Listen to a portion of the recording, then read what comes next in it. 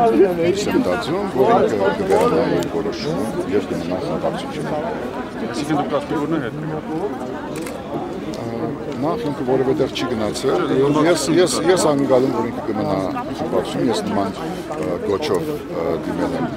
Թևանին շատ լավ գադարում է իր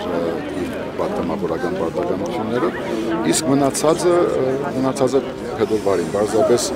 ինչպես քաղաքական ցանկացած շրջան, այս շրջանում եւս հավաքալ մի քանի ամիսները պիտի ցույց տա յուրաքանչյուրի ընդհանրական թե ինչպես է իրեն բանում եւ ես վստահ եմ որ երբ խոսքում են թեմայի մասին չի տարածանություն չկա սա մասնավոր մասնավոր դիրույթից է փոխում այս այս նախնական որոշումը ես նախապես տեղյակ չէի բայց վերադառնալով Հայաստան հանդիպել եմ Շմեդովանի շատ գործընկերների հետ եւ ես հույս եմ դարձում որ ինքը կվերանա մնացած ժողովրդի բախվածն է բոլոր դեպքերում փեդեվար ամսի ես ավելի համալիր խոսքով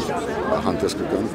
քաղաքական իրադարձությունների Վերջում արարգայական պայմանները պետք է հասունանան նաև ժողովուրդը ինքը եւ երդասարտական այսպես շրջանները քաղաքական քաղաքացիական ակտիվիստները իրենք պիտի նախաձեռնեն եւ ես ներկա կլինեմ։ Ես կարծում եմ, որ այդ սահմանադրական իշխանության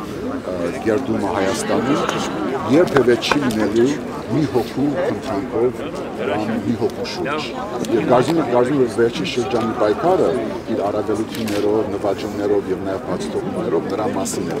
որ ամեն մեկը պիտի եւ մասնակցի։ Սիրելիներ, խնդրում եմ եկեք